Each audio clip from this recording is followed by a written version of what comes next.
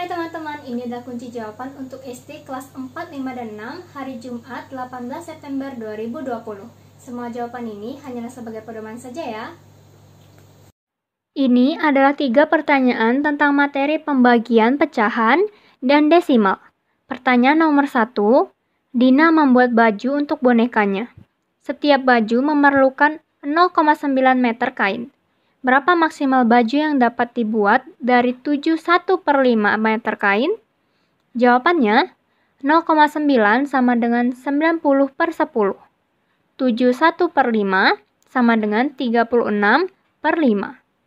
36 per 5 dibagi 9 per 10 sama dengan 36 per 5 dikali 10 per 9 sama dengan 8.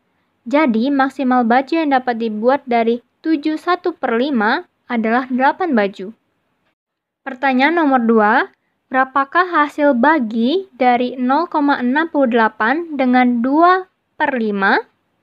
Jawabannya, 0,68 2 per 5 sama dengan 0,4. 0,68 dibagi 0,4 sama dengan 1,7. Pertanyaan nomor 3.